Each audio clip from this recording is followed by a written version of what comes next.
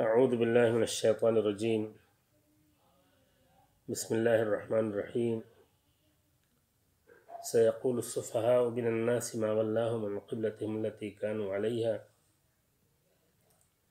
قل لله المشرق والمغرب يهدي من يشاء إلى صراط مستقيم.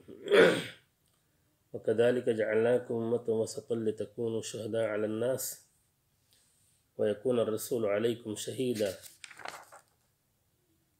وما جعلنا القبلة التي كنت عليها إلا لنعلم من يتبع الرسول ومن ينقلب على عقبيه وإن كان لكبيرة إلا على الذين هدى الله. وما كان الله ليضيع إيمانكم إن الله بالناس لرؤوف رحيم. عزیز طلباء یہاں سے تحویل قبلہ کا مسئلہ تذکرہ کر رہا ہے۔ آپ تمام حضرات جانتے ہیں کہ مدینہ منورہ ہجرت کرنے کے بعد رسول اکرم صلی اللہ علیہ وسلم نے سولہ سترہ مہینے تک بیت المقدس کی طرف رخ کر کے نماز پڑھی اور اس کے بعد تحویل قبلہ کا حکم آیا۔ اور بیت المقدس سے خانہ کعبہ کی طرف آپ نے رخ کیا۔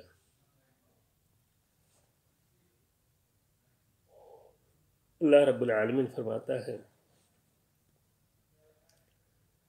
کہ نادان لوگ ضرور کہیں گے کہ انہیں کیا ہوا کہ پہلے یہ جس قبلے کی طرف رخ کر کے نماز پڑھتے تھے، اس سے وہ ایک پھر گئے۔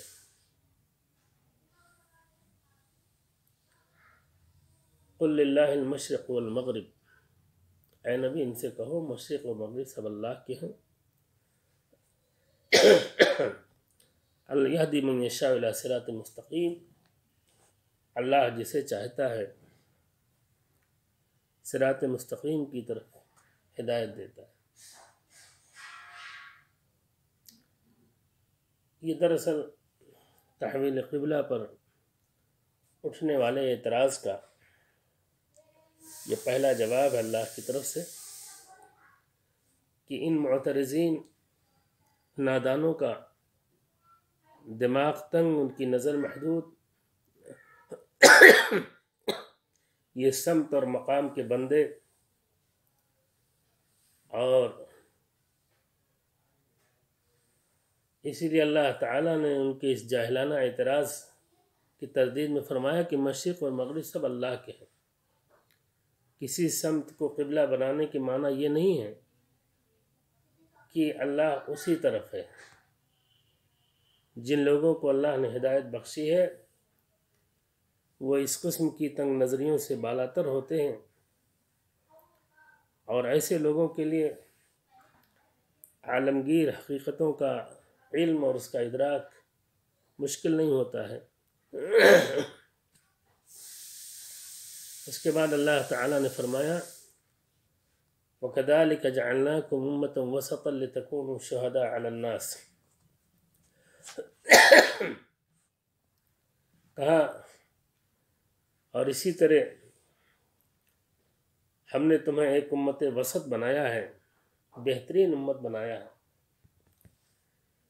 لتکون شہداء علی الناس تاکہ تم دنیا کے لوگوں پر گواہ ہو اور رسول تم پر گواہ ہوں۔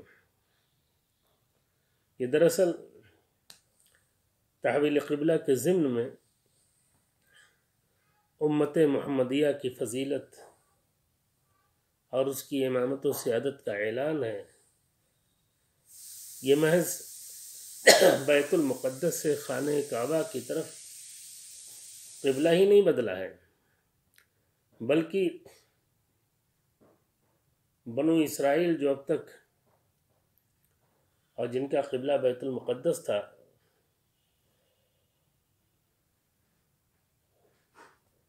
تو یہ گویا کہ بنو اسرائیل کو امامت و سیادت سے معزول کر کے اور اس امامت و سیادت کو امت محمدیہ کی طرف منتقل کیا گیا ہے۔ کہا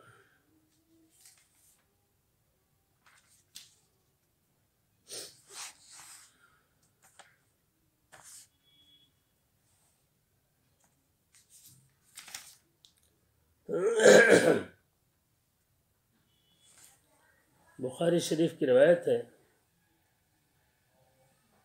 کہ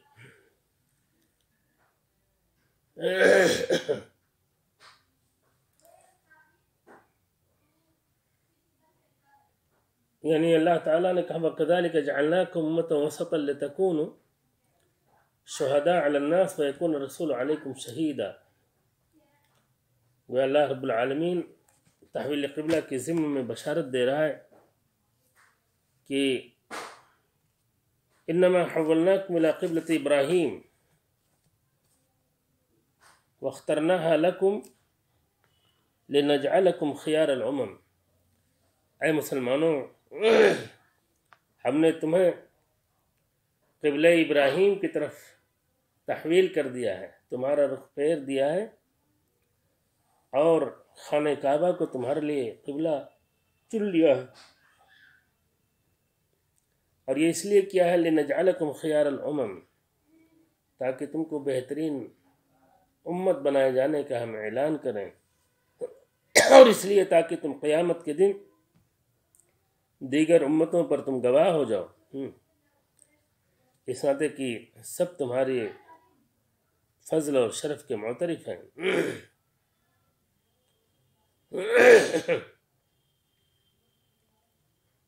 اللہ کے رسول نے فرمایا کہ قیامت کے دن حضرت نوح کو بلایا جائے گا اور اللہ پوچھے گا حل بلغتا کیا تبلیغ کا حق تم نے ادا کیا ہے نوح؟ تو حضرت نوح کہیں گے ہاں۔ پھر فیدع قوم حضرت ابراہیم حضرت نوح کی قوم کو بلایا جائے گا، اس سے پوچھا جائے گا۔ کہ کیا نوح نے تم تک تبلیغ کی دین کی؟ تو وہ کہیں گے، ما اتانا من ندیر وما اتانا من نحد قوم نوح جھٹلا دے گی حضرت نوح کو، کہے گی، ہمارے پاس کوئی نظیر کوئی رسول، کوئی پیغمبر نہیں ہے۔ تو حضرت نوح سے اللہ پوچھے گا، من یشہد لک؟ کون ہے تمہارا گواہ؟ کون ہے جو تمہارے حق میں گواہی دے یہ تو ممکن ہے؟ تمہاری تبلیغ کا انکار کر رہے ہیں، تمہاری تو کوئی ہے تمہارے حق میں جو گواہی دے؟ تو حضرت نوح علیہ السلام کہیں کہ محمد و امت ہو محمد اور ان کی امت۔ تو کہا، یہی ہے، اللہ تعالیٰ کا نا کہ وَكَذَلِكَ جَعَلْنَاكُمْ أُمَّةً وَسَطًا۔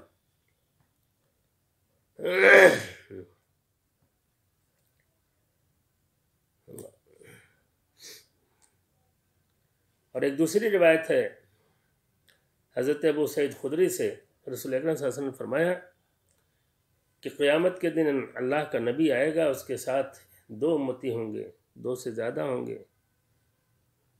تو اس کی قوم کو بلایا جائے گا اور اس کی قوم سے پوچھا جائے گا حل بلغکم هذا؟ کیا اس نبی نے دین کی تبلیغ کی تھی؟ تو یہ سب انکار کر جائیں گے۔ تو اللہ تعالیٰ اس نبی سے پوچھے گا حل بلغت قومک؟ تو کہیں گے ہاں ہم نے تبلیغ کی۔ فیقال من یشہد لک تو پوچھا جائے گا، من یشہد لک تمہارا کون گواہ ہے؟ تمہارے حق میں کون گواہی دینے کے لیے تیار ہے؟ تو کہیں گے، نبی محمد امت ہوں کہ محمد اور ان کی امت صلی اللہ علیہ وسلم، تو رسول اکرم صلی اللہ علیہ وسلم اور ان کی امت کو قیامت کے دن بلایا جائے گا۔ اور پوچھا جائے گا حل بلغ هذا قومہ کیا اس نبی نے اپنی قوم تک دین کی بات پہنچائی تھی؟ تو کہیں گے ہاں۔ فیقال، وما علمکم؟ اللہ پوچھے گا، پوچھا جائے گا کہ وما علمکم؟ کیسے تم کو پتہ؟ امت محمدیہ سے پوچھا جائے گا، تمہیں کیسے معلوم؟ یہ تم سے ہزاروں سال پہلے یہ نبی آئے، تو تمہیں کیسے پتا کہ انہوں نے دین کا پیغام اپنی امت کو، اپنی قوم کو پہنچایا تھا؟ تو امت محمدیہ کہے گی، جانا نبینا فاخبرنا ان الرسل قد بلغوا۔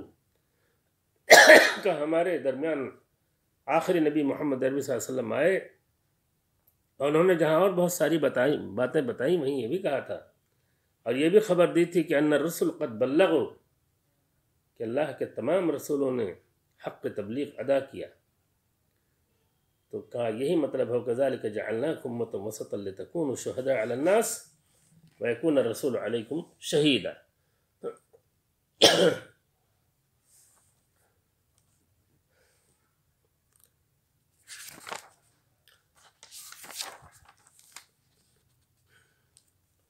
تو دراصل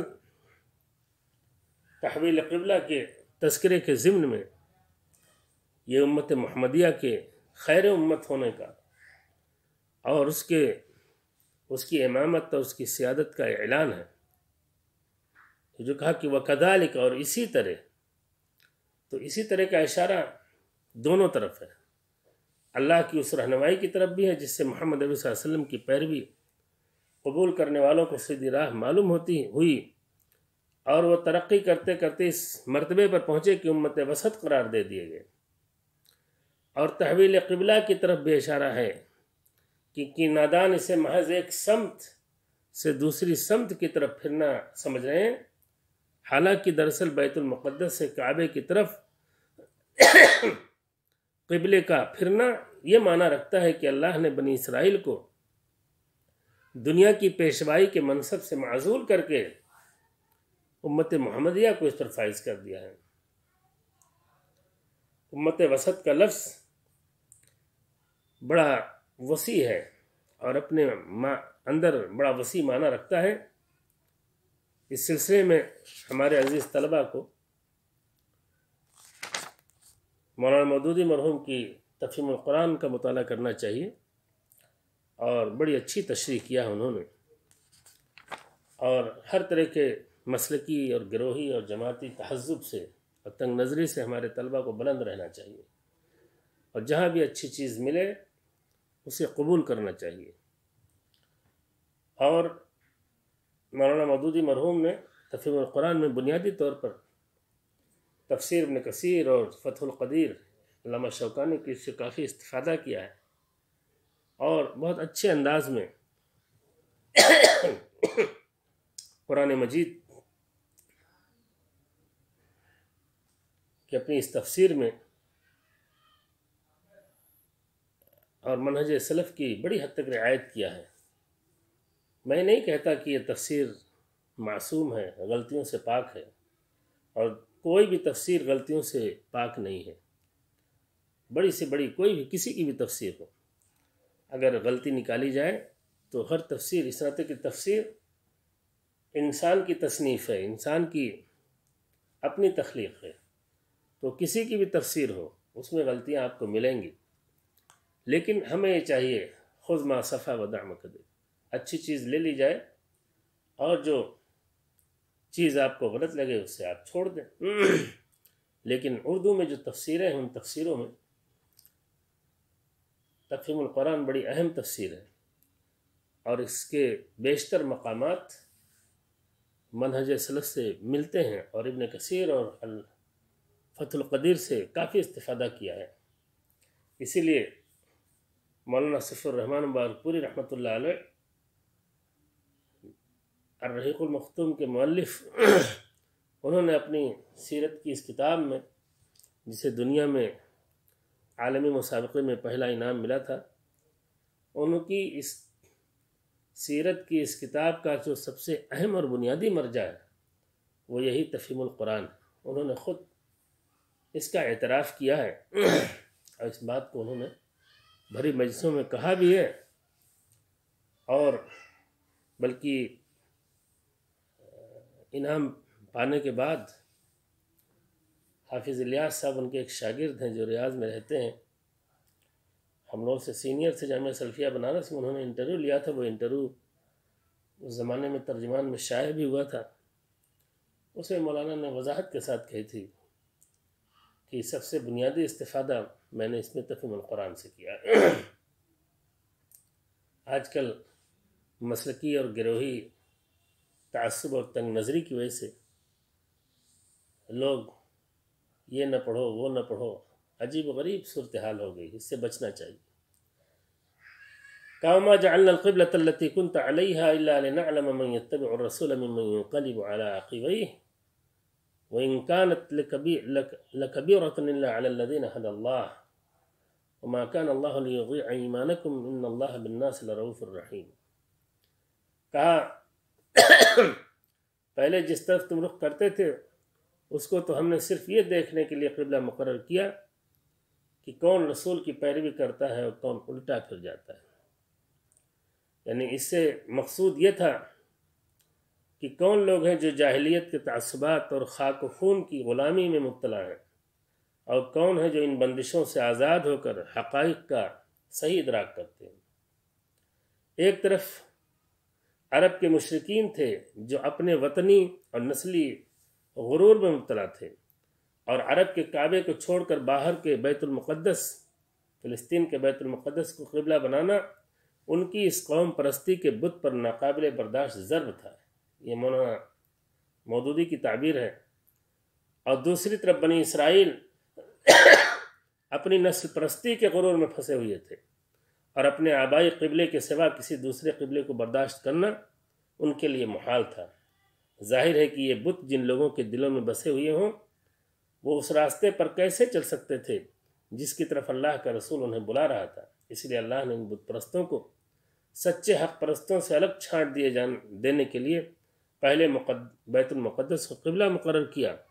تاکہ جو لوگ عربیت کے بت کے پرستار ہیں، وہ الگ ہو جائیں۔ اور پھر اس قبلے کو چھوڑ کر قبلہ بنایا، کعبے کو قبلہ بنایا تاکہ جو اسرائیلیت کے غرور کے پرستار ہیں، وہ بھی الگ ہو جائیں۔ اس طرح صرف وہ لوگ رسول کے ساتھ رہ گئے جو کسی بت کے پرستار نہ تھے اور محض اللہ کے پرستار تھے۔ تو گویا تحویل قبلہ کی ایک حکمت یہ بھی تھی، تاکہ یہ جانچا جائے کہ کون رسول کا سچے متبع اور سچے پیروکار ہے۔ کون رسول کا سچا متبع، سچا رسول کا حکم آ گیا بیت المقدس کی طرف رخ کرنے کا، تو اگر رسول کی سچے پیروکار ہوگا، ایک مسلمان تو اسر کرے گا۔ اور جب کہہ دے گا کعبے کی طرف کرو، تو کعبے کی طرف کرے گا۔ تو کہا ایک رسول پر ایمان رکھنے والے اور سچے متبع رسول کے لیے اس میں کوئی دقت نہیں، کوئی مشکل نہیں۔ لیکن جن کے اندر اتباع رسول کا جذبہ نہیں ہوگا اور اللہ رب العالمین کے دین پر جن کا سچا ایمان نہیں ہوگا، تو ان کو یہ چیز گرا گزرے گی۔ اس نے کہا وہ انکان اللہ کبیر رتن اللہ الدین حد اللہ کا یہ معاملہ تھا تو بڑا سخت مگر ان لوگوں کے لیے کچھ بھی نہیں، سخت نہ ثابت ہوا جو اللہ کی ہدایت سے فیضیاب تھے۔ وما كان اللہ علیہ ایمانکم، ان اللہ بالناس لرؤوف الرحیم۔ کہا، اللہ تمہارے اس ایمان کو ضائع، ہرگز ضائع نہ کرے گا۔ یقین جانو کہ وہ لوگوں کے حق میں نہایت شفیق اور مہربان ہے دراصل، جب تحویل قبلہ کا حکم آیا اور قرآن مجید میں پہلی چیز جو منسوخ ہوئی ہے، وہ یہی بیت المقدس کا قبلہ منسوخ ہو کر کے خانہ کعبہ کی طرف ہوا ہے۔ یعنی نسخ کی جو تاریخ ہے، اور اس میں سب سے پہلا حکم جو منسوخ ہوا، وہ قبلے کا حکم منسوخ ہوا۔ تو یہ سوال پیدا ہوا کہ جو لوگ خانہ کعبہ کی طرف نہیں نماز پڑھ سکے اور اس سے پہلے دنیا سے چلے گئے، ان کا کیا ہوگا؟ تو اللہ تعالیٰ نے بشارت دی کہ نہیں، کوئی فرق نہیں پڑتا ہے۔ جو پہلے چلے گئے، ان کے ایمان اور ان کی نماز ضائع نہیں ہوگی۔ کہا، قد نرا تقلب وجهك في السماء فلنولينك قبلة ترضاها ہم تمہارے منہ کا بار بار آسمان کی طرف اٹھنا دیکھ رہے ہیں۔ فلاں ولین کا قبل تن لو ہم اسی قبلے کی طرف تمہیں پھیرے دیتے ہیں جسے تم پسند کرتے ہو۔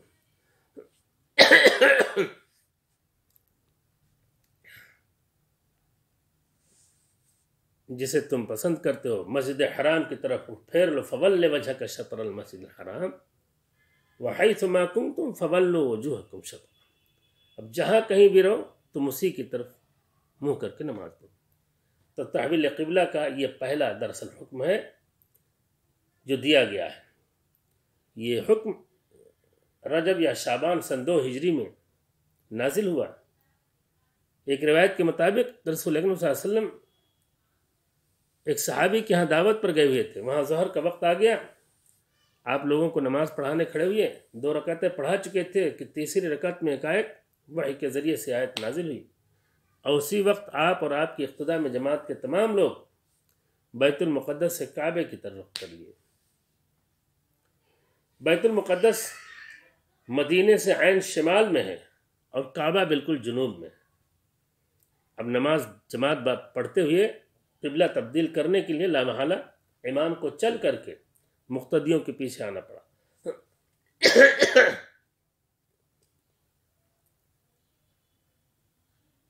تو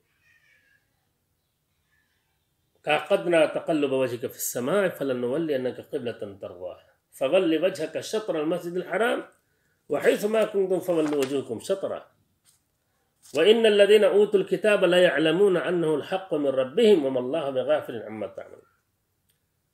أجي ولو جنہیں كتاب دی گئی یعنی یہود یہ اچھی طرح جانتے ہیں الحق من ربهم. كي تحویل قبلہ کا یہ حکم حق ہے ان کے رب کی طرف سے وما الله بغافل عما تعملون. يحكم حکم ان کے طرف سے اور مگر اس کے باوجود جو کچھ یہ کہہ رہے ہیں اللہ، اس سے غافل نہیں ہے۔ یعنی قوم یہود اچھی طرح جانتے تھے، ان کی کتابوں تورات میں چیز مذکور تھی کہ خانہ کعبہ کی طرف قبلہ ہوگا، قبلے کا حکم آئے گا، اس کا تذکرہ تورات میں ہے۔ اور یہ جانتے تھے، لیکن اس کے باوجود اعتراض کرتے تھے۔ اس کے بعد اللہ نے فرمایا کہ وَلَئِنْ أَتَيْتَ الَّذِينَ أُوتُوا الْكِتَابَ بِكُلِّ آیَةٍ مَا تَبِعُوا قِبْلَتَهُ اے نبی، اگر آپ ان اہل کتاب کے پاس کو ہر طرح کی دلیل دے دیں، ہر طرح کی نشانی دے دیں، کوئی بھی نشانی لے کے آ جائیں، ما تبعوا قبل تک تو یہ آپ کے قبلے کی پیروی نہیں کریں گے۔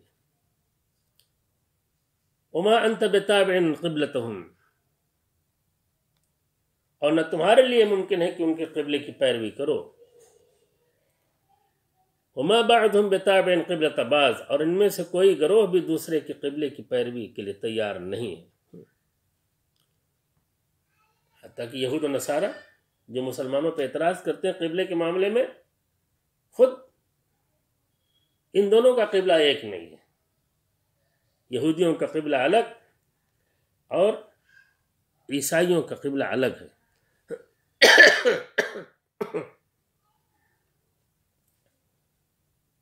ولئن اتبعت اهواهم من بعد ما جاءك من العلم انك اذا لمن الظالمين. اور اے نبی، اگر آپ نے ان یہود و نصارہ اور مشرقین کے خواہشات کی پیروی کی علم آنے کے بعد، وحی آنے کے بعد، تو آپ ظالموں میں سے قرار پائیں گے۔ یہ بہت سخت وارننگ ہے اور اس میں بہت بڑا پیغام ہے، سبق ہے امت محمدیہ کے لیے۔ اس آیت کی تفسیر میں علامہ شوکانی رحمۃ اللہ علیہ نے بہت درد مندی کے ساتھ ذکر کیا ہے وہ ہمارے طلباء کو پڑھنا چاہیے۔ میں پڑھ کر کے اس کو سنا دیتا ہوں تاکہ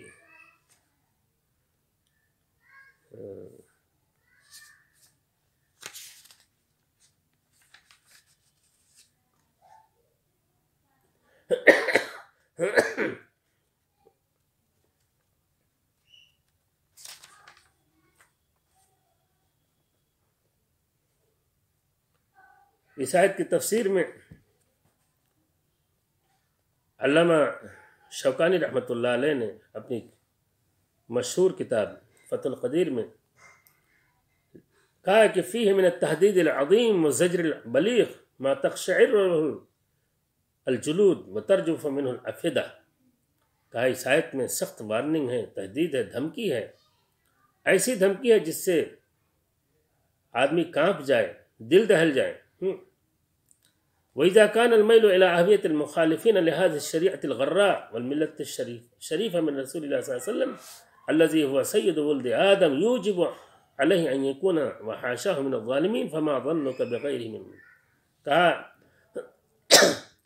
اگر اس دین کے مخالفین کی طرف مائل ہونا، وہ بھی محمد محمد رسول اللہ صلی اللہ علیہ وسلم کا، جو کہ سید ولد آدم ہے، کہا، اگر سید ولد آدم محمد عربی کا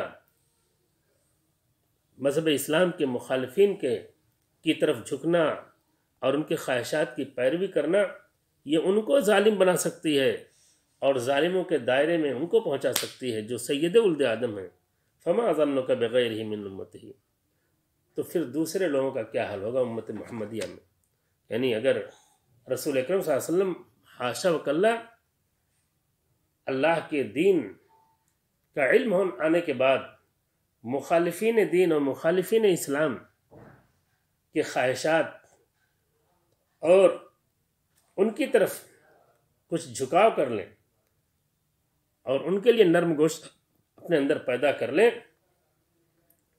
اور ان کے خواہشات کی پیروی کرنے کی کوشش کریں اور ان سے تال میل بٹھانے کی کوشش کریں۔ تو کہا، یہ چیز اگر رسول اکرم صلی اللہ علیہ وسلم کو حاشا و کلّہ ظالم بنا سکتی ہے، تو پھر اگر آپ کی امت کا کوئی عالم ہو یا غیر عالم ہو، حاکم ہو یا عالم ہو، کوئی بھی ہو، اگر کوئی ایسا کرے گا تو اس کا حال کیا ہوگا؟ کہا وقت سان اللہ حاضل فرقت الاسلامیہ بعد ثبوت قدم الاسلام وارتفاع مناره عن ان يميل الى شيء من هوا اهل الكتاب. علامہ شوکانی کہتے ہیں، اللہ تعالیٰ نے مسلمانوں کی حفاظت کی۔ جب اسلام کے قدم مضبوط ہو گئے، اسلام کا منارہ بلند ہو گیا، تو اللہ تعالیٰ نے اس امت کی حفاظت کی کہ وہ اہل کتاب کے چکر میں پڑھیں یا ان کے خواہشات کی کی تکمیل کی کوشش کریں، اللہ نے اس سے حفاظت کی۔ کہا، ولم طبقہ اللہ دسیست شیطانیہ وسیلت تاغوتیہ وہی میل بعض من تحمل حجج اللہ الى ہوا بعض الطوائف المبتدعہ۔ لما يرجوه من الحطام العاجل من عیدیہم یہ تقریباً آدھے صفحے میں ہے اور بہت اچھی چیز لکھی ہے۔ اس کو ہمارے طلبہ نوٹ کر لیں۔ اسی بہانے تفسیر فتح القدیر کو دیکھ بھی لیں گے اور اس کو نوٹ کر لیں۔ اور امت وسط کی تشریح میں مولانا مودودی مرحوم نے جو تفہیم قرآن میں لکھا اس کو بھی ضرور پڑھ لیں۔ کہا،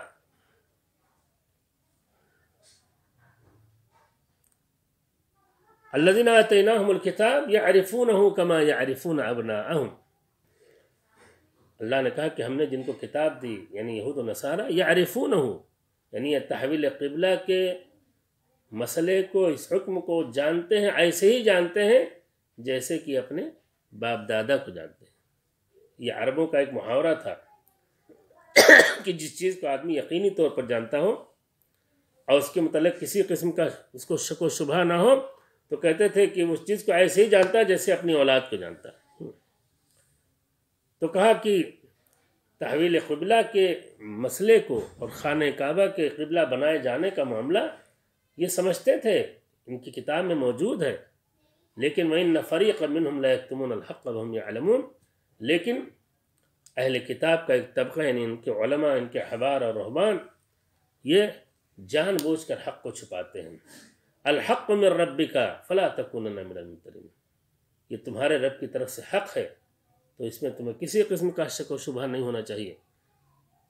یہود النصارہ کے اعتراضات یا مشرقین کے اعتراض سے متاثر نہیں ہونا چاہیے۔ یہ حق ہے یعنی یہ تحویل قبلہ کے حکم شروعات اس سے ہوئی کہ قدرہ تقلب وجہ کا فصلہ گویا کہ اللہ رب العالمین، اللہ اللہ کے رسول صلی اللہ علیہ وسلم کی خواہش کا تذکرہ کیا اور اس کے بعد اللہ نے اعلان کر دیا کہ نہیں، یہی حق ہے۔ گویا جو اللہ رب العالمین چاہتے تھے، اللہ اللہ کے رسول چاہتے تھے، وہی اللہ نے چاہا۔ پھر کہا، وَلِكُلٍ مِجْهَةٌ هُوَ مُوَلِّيهَا فَاسْتَبِقُ الْخَيْرَاتِ۔ ہر ایک کے لیے ایک رخ ہے، جس کی طرف وہ مڑتا ہے۔ فستبق الخیرات پس تم بھلائیوں کی طرف سبقت کرو۔ تو یہاں بھلائیوں سے مراد، گویا، خانہ کعبہ کی طرف رخ کر کے نماز پڑھنا یہ خیر ہے اسی کی طرف۔ یہی مراد ہے فستبق الخیرات سے۔ اینما تکون یا تبکم اللہ۔ جہاں بھی تم ہوگے اللہ تمہیں پالے گا۔ اللہ ہر چیز پر قادر ہے۔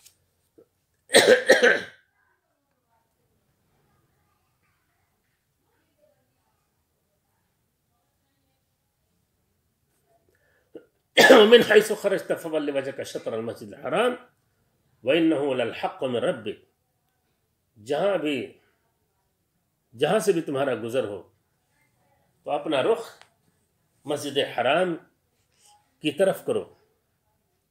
مسجد حرام کی طرف پھیر دو۔ کیونکہ یہی تمہارے رب کا فیصلہ ہے۔ تو اللہ تعالیٰ نے اعلان کر دیا کہ مسجد حرام کی طرف رخ کرنا اور مسجد حرام کو قبلہ بنانا، یہ رب کا فیصلہ ہے۔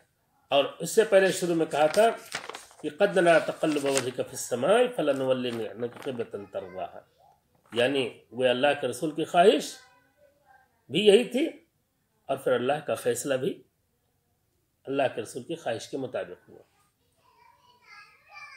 وحيثما كنتم فولوا وجوهكم شطرا لئلا يكون للناس عليكم حجه اور اللہ تم لوگوں کے اور جہاں سے بھی تمہارا گزر ہو، اپنا رخ مسجد حرام ہی کی طرف پھیرو۔